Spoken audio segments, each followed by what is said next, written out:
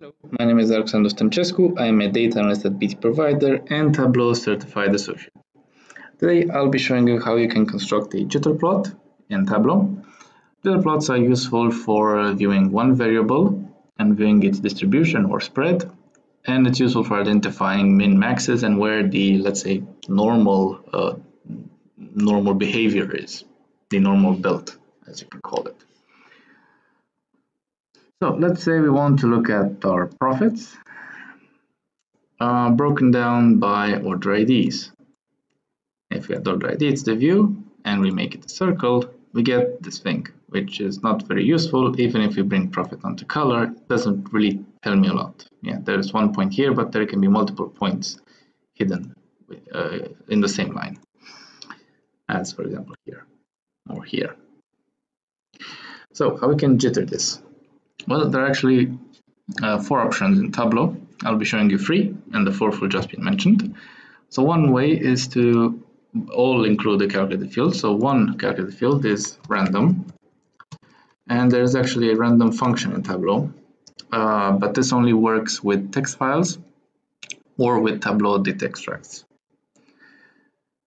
And you get a new field called random. Let's change this to a min aggregation. If you bring that onto columns, we get a jitter plot. Let's make this fit into view and maybe tweak a bit.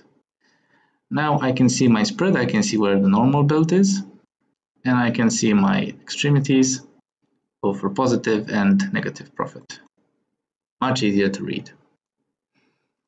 This is one way of doing jitter using the random function, so let's call this random. Let's duplicate it and see the others. So another way of using it is instead of random, if you're connected, let's say, to a database and not an Excel, is to use index. So we create another calculate field called index. Let's drag index instead of this random. This is not what we're looking for, and make it compute using order ID. And we get roughly the same image.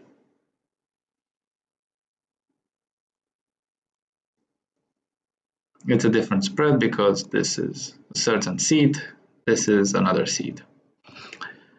Okay, let's call this index. Now there's a four, there's a third option, and we'll create another calculate field with full name pseudo random. And we'll be using this formula, which is a pseudo number generator. And if you take this onto index, and again tell it to compute using order ID, we get another jitter plot, which actually looks a bit better than with index. And let's call this pseudo random. And finally, there's a, a fourth option, which I can't show because I'm not connected to a database. And that's using a raw SQL to pass to the database if that database has a uh, random number generating function.